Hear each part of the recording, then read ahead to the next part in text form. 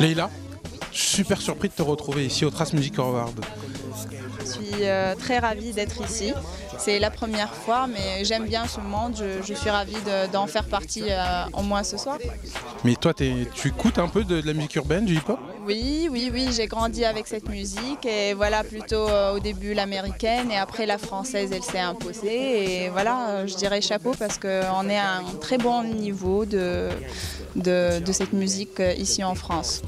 Musique américaine, t'écoutais quoi? Bah oui, RB, hip-hop, un peu de tout, mais après. Des noms bah, euh, Jay-Z, euh, Tupac, euh, Biggie, les premiers quoi. J'ai adoré Snoop Dogg aussi, un peu de tout. Et dans les artistes français aujourd'hui, ceux qui étaient nominés, il y, a des noms que, qui te plaisent? Ben, j'ai pas vu tous les nominés, mais moi j'aime beaucoup les jeunes artistes aussi. Booba, Jules, j'écoute un peu parce que depuis que je suis en France, il n'y a que ça dans les radios et j'ai adoré. Franchement, je commence à, prendre le rythme et j'aime beaucoup. Face B de l'autre côté du hip-hop.